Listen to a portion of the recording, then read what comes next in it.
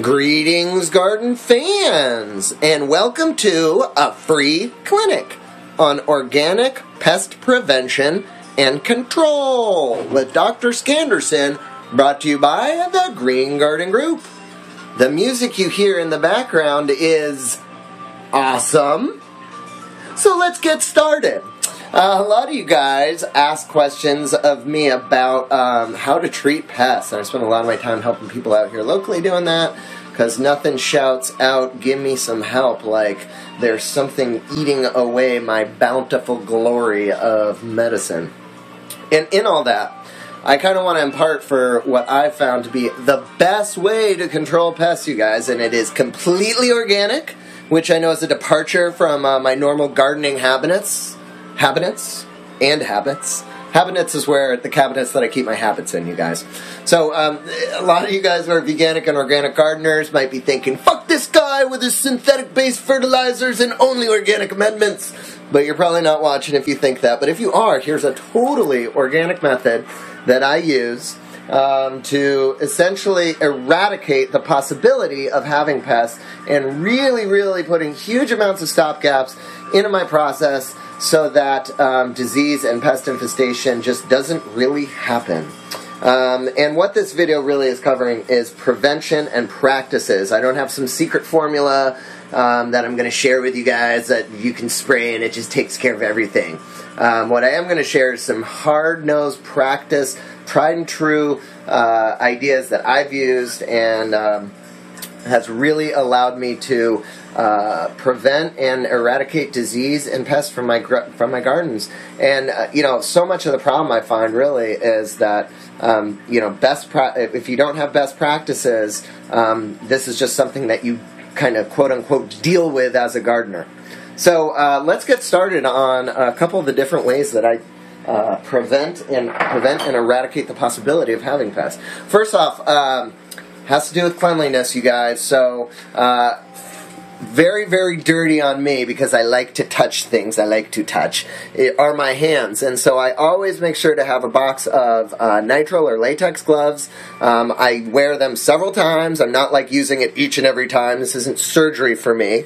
Um, so I recycle it until they basically snap off my hand. But uh, and it's like six bucks for a box of fifty, ten bucks for a box of uh, hundred, and that's like at a box store online. You could get them way, way, way cheaper. Um, and really, what you're doing is just putting a barrier between uh, your my filthy hands, which is touching everything, and my plants. Uh, for those directives in the garden, like the training, supercropping, bending, where uh, I'm actually doing some tissue fracturing and like a little more sensitivity, and like the naked flesh on plant feel. Um, in those circumstances, I use Purell, guys. I wash my hands and I use some hand sanitizer. Simple, kind of common sense stuff, but uh, it really, really, really makes a difference in uh, preventing disease and disease outbreaks from occurring. Um, so the other thing is, you guys, uh, like, kind of just in the way of creating a barrier between whatever it is that you're doing with the rest of your life and your life as a gardener or a caregiver to your plants. Uh, oftentimes, those people need the most help occur or they appear as if they're like uh, rolling around in their street clothes and then going straight into their garden. Um, and you know, taking whatever you're doing with your life, playing with your dogs, your guinea pigs, your cats, your uh, you know, walking through tall grass of lime ticks and spider mites, then going straight into your garden. Is, I mean, it's just kind of nutso. So. Um, get a different change of clothes and or what i recommend is a tyvek suit. That's what i wear. Um, something like this at a box store it, they're like 7 to 11 bucks. If you work really really really hard in them um, they last about three weeks to a month and then just because they're you know made not out of cloth they're like kind of that plasticky material. They tear usually in the crotch usually because big balls are hanging around down there but it you know it just it doesn't last. So you got to re- uh, replace them every so often. And um, uh, if you buy them online at a commercial supply center like Uline or something, um, you can get like 30 to 50 of them and the price falls way, way down, like 3 to $7, although you do have to buy quite a few of them. Um, and I want to point out that I always get the kind with the hood because it seems like cannabis growers like to grow their hair because growing your hair is easier than growing cannabis. And, um, you know, hair is awesome, but it pairs with it a myriad of pathogens So um, pathogen. So um, tuck it in, get it under there. Get the Wook locks under the freaking hood, you guys. Um, and speaking of Wookiees, I'm sure everybody everybody knows about the Wooks, right? Excuse me. Uh, the Wookie, you know, the warlocks out there. They're awesome, right? A lot of people have big old dank beards, and that is super heady, and I am down with a dank beard, you guys. But your plants are not down with your dank beard. So, um, cover them up, get yourself a mask. You can get these at a pharmacy. They're super cheap. Um, and it'll just again create a super simple, super easy barrier. So, so far, yes, if you dress like a spaceman, you're well on your way to having a clean and healthy crop. Um, so, moving along, uh, another super, super dirty and filthy area my feet because I'm always walking on them. Imagine that. So, at every room that has a threshold and a door in this uh, facility, we have a separate pair of sandals so that each and every room has its own independent pair and you're never. Uh, you know, cross contaminating. So that, for instance, if one room, God forbid, got a powdery mildew outbreak, um, and it has a lot of active mold spores. You're not walking all over that room trying to treat it and then walking into a perfectly healthy garden um, with, uh, you know, feet full of mold spores. So, um, $11 at Fred Meyer or so uh, for sandals, or even cheaper, you can just get yourself, although not in the long run, you can get yourself basically disposable booties that cover whatever your foot gear is, so you can just slip those on and off if you so choose.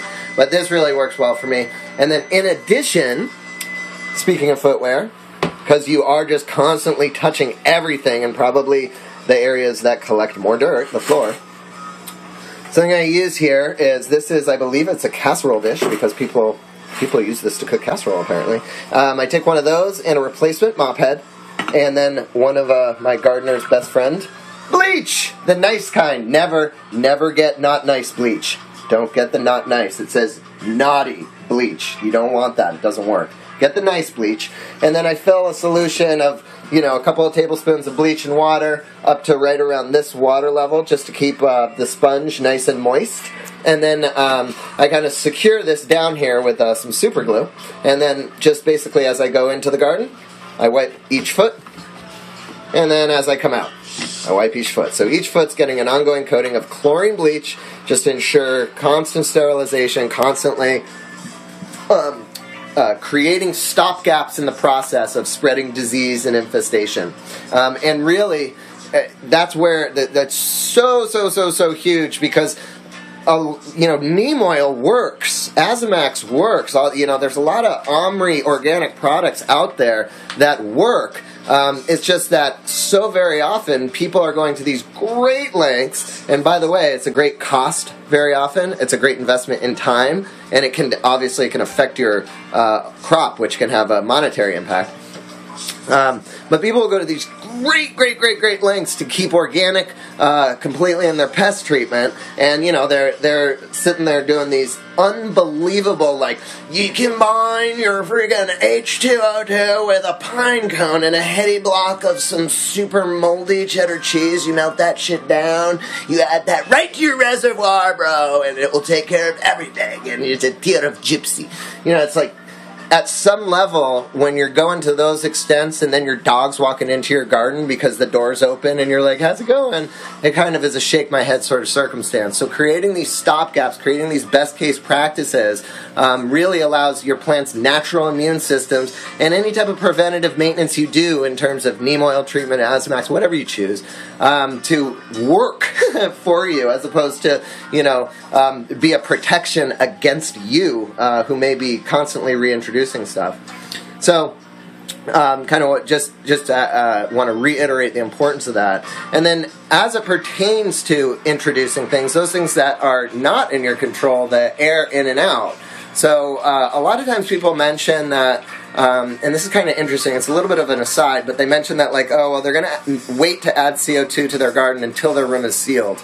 And um, you know, most smart timers have uh, you know the ability to rate your CO2 so that if you're exhausting heat, you're not wasting CO2. And it just kind of begs the larger question how much air intake are these gardens running? And I know there's some gardens that have huge air intakes, but in most indoor garden facilities, um, air and heat is balanced enough that the intake can be, you know, minimized. So, um, uh, the point being, how much airflow do you have? How much lack of uh, sealing is going on that you're concerned that the CO2 level is so inefficient? My, the thing that crops up for me about that situation is how much like excessive air that's carrying with it spores, mold, uh, eggs, bugs, anything like that, particles is coming into your garden. And I know, speaking personally, uh, I, I run sealed rooms, but the fact that I seal the room is only incidental to whether or not I have an intake outtake or not.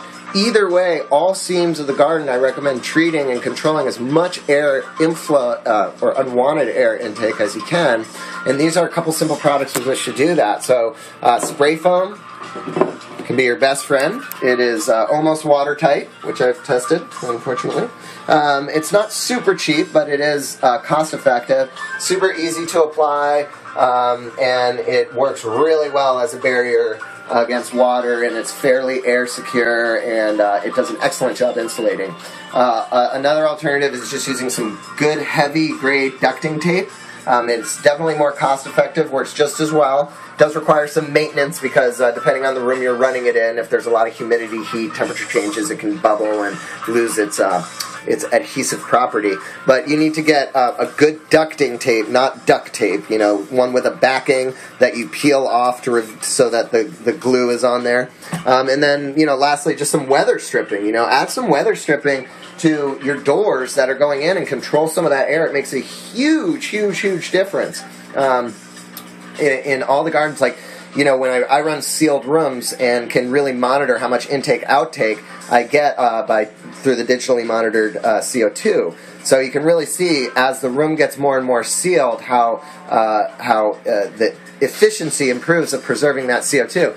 All be that you're talking about 10 or 20 percent, you guys. So definitely, in my experience, you can benefit from adding CO2 even if you're running an open room because CO2 is so huge. Um, in my experience. So, uh, moving right along, another thing. You guys, that's a dustbuster. If I could insert this into a quiver and wear it on my back, I would. Anyone who builds quivers out there, hit me up. Uh, this I got on eBay, used. I've never had any problems with it. It's 14.4 volts rechargeable, which is okay. Um, I have fairly uh, flexible uh, or available electrical outlets, so I'm probably going to switch to a corded one so I can get the extra power associated. But this one is really great. Um, and it does work. And every time I go into the garden, I use it. So I'm sucking up a particle, a hair, uh, a little piece of leaf, uh, a speckle of hydrogen, whatever it is. I'm getting something that was hanging out in the garden that shouldn't be inside of this and removed. Um, and then, as another tip, you guys, some clean wipes. Every time I bring, the other great thing about this, as opposed to like a shop vac or something, super easy to clean. Every time I bring in a foreign object to the garden, I want to wipe it down with um, an antibacterial, antiviral type of uh, wipe. So something like that is what I choose. Uh, you know, sponges and stuff soak in Physan 20, another super cheap, great solution. Um, but you know, just this was again a thirty or forty dollar solution to really keeping things super duper clean and avoiding uh, the, those possibilities of infestation happening. And last thing I want to bring up is um, just kind of, and this is available for some gardeners, but this really is a design thing, which is build yourself a pre room to any door that is entering directly into a garden. So what I mean by that is every room uh, that we have here, for instance, the room that we're in, this is an in between room between three gardens. There's a door to one garden, there's the door to another garden right there, and there's a door to a third garden right there. So um, this air that we're in right here is treated with a HEPA filter as well as fungicidal lamps, so that anytime we're opening these doors, um, we can assure that the air that's interchanging between this room and the garden is at least cleaned to a, a, a, a large extent and treated. Um, and even if that means just framing out a small room immediately outside the door of your garden, if it's just like a one shot deal, um, you know, I've seen people do that, and it's just basically like a closet that's tall enough for somebody to stand in, and you use that space and you treat it with HEPA filter and a fungicidal lamp, which you know restaurants use in bathrooms and things like that. It just basically kills spores and mold in the air, and it just gives you a place to kind of get into your garden mode, uh, put on your suit, put on your uh, your gloves, get on your sandals. If you're, uh, you know, if you need, get your shit together. Basically, uh, book to write down what you're doing, um, and you're kind of nice and clean, and everything in there is clean, and you're really minimizing the exchange between uh, the pathogens that we are constantly spreading around and your garden. So I hope that these tips for you guys have been a little bit helpful in the way of avoiding uh, pest infestation altogether. And I can assure you that using any and all of these tips is completely heady, completely organic, completely free range, and will never impart heavy metals to your nugs. Can be used to treat any one of a degree of symptoms. And overall, is an organic and very safe method. Since I started using this, you guys, uh, uh, at 100%, I haven't had an infestation. You know, knock on wood. But haven't had anything, um, and that's like going on over a year here, and that's with multiple gardens running with a minimum of two flower rooms running simultaneous. So, it's organic and it works, you guys. If you have any questions or comments, hit me up. Thanks for all the subs. Thanks for all the views. It's always a pleasure bringing you free clinics with Dr. Scanderson. Thanks for stopping by and happy gardening.